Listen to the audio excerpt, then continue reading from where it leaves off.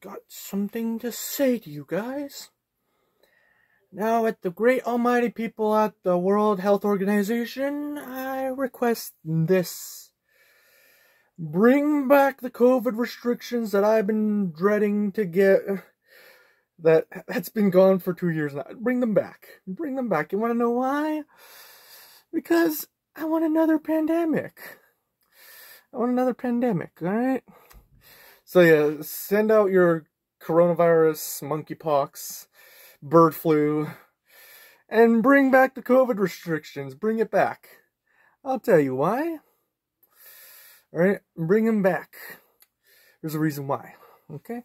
First of all, bring back the lockdowns, bring that back the stay at home order, okay? Everyone should be staying six meters apart and living in a shoebox right here. Living in a shoebox right here, like. But yeah, everyone should stay at home, shut down businesses, well, for a bit, and because you know, like,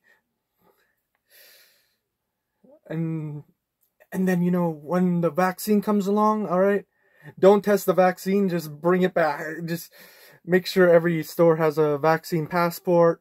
Everywhere you go has a vaccine passport. To leave your house, you have to have a vaccine passport.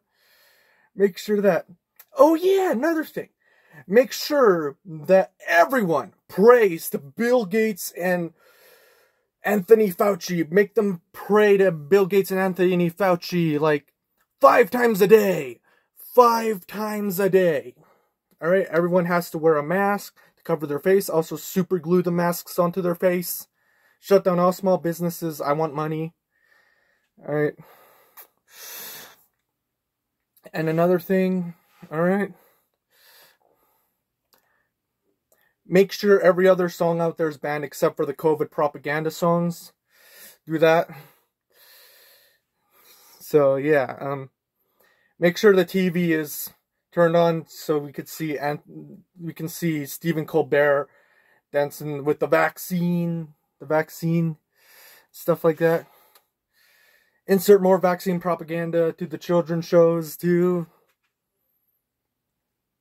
So yeah, I'm begging you guys, bring back another pandemic.